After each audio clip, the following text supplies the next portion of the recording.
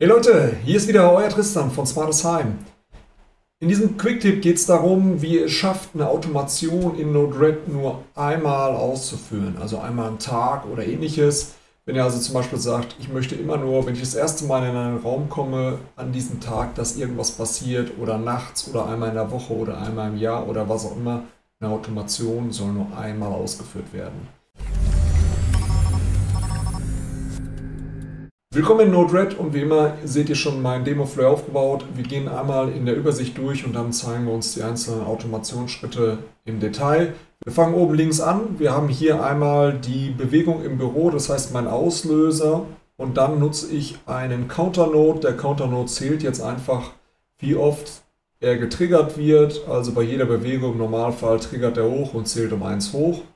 Und mein Switch-Node guckt jetzt einfach nach, wie oft wurde dieser Trigger-Node einmal ausgeführt. Das erste Mal, das zweite Mal, das dritte Mal, das vierte Mal, das fünfte Mal. Und basierend auf der Antwort, also ist es das erste Mal, dann soll er irgendwas machen. Oder wenn es eben das fünfte, sechste, siebte Mal ist, dann soll er was anders machen. Ich habe jetzt hier nochmal ein Change-Node reingebaut, damit wir in der Debug-Ausgabe auch das Ergebnis sehen. An sich würde es euch ausreichen, hier diese zwei Komponenten aufzubauen, hochzählen und abfragen, wie oft wird schon hochgezählt. Wenn ich jetzt aber nur hochzähle, naja, dann äh, habe ich natürlich nichts davon gewonnen. Ich muss ja zusehen, dass ich das Ding auch irgendwann mal wieder resette. Und dafür sind dann diese beiden Komponenten hier da. Zum einen ein Inject Node, der jede Nacht um in meinem Fall hier kurz nach 12 einmal einen Impuls schickt und der Impuls setzt mir eben über eine Change Node einen Reset-Befehl an den Counter, sodass der eben nachts um kurz nach 12 einmal wieder auf 0 gesetzt wird und morgens eben mit der nächsten Bewegung wieder mit 1 anfängt. Das ist die ganze Magie. Schauen wir uns das kurz im Detail an. Ich glaube, über den Trigger brauche ich nichts sagen. Interessant ist jetzt hier der Counter. Der Counter beginnt mit 0 und geht dann in einer Schritten hoch und zwar unendlich lange und zwar Inkrement, also hochzählen und er soll mir das Ganze bitte in einer Nachricht rausschicken und er soll es nicht irgendwie splitten, das wäre die zweite Option. Als zweites haben wir dann hier die Möglichkeit in einer sogenannten Switch Node einfach zu sagen, okay, wo geht die Reise hin?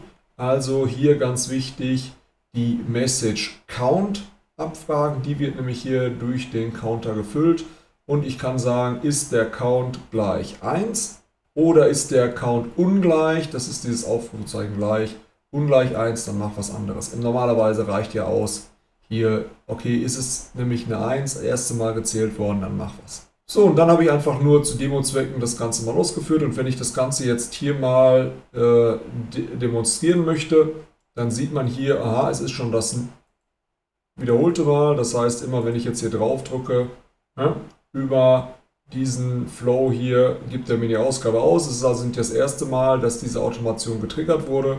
Und jetzt möchte ich sie zurücksetzen.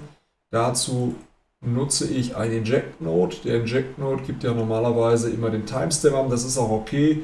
Der Content selber interessiert mich eigentlich überhaupt nicht. Wichtiger ist, dass ich hier unten bei der Wiederholung den täglichen Zeitpunkt einstelle dann eine Uhrzeit eingebe. Und dann haben wir eben hier Montag bis Sonntag die Auswahl, wann das Ganze passieren soll.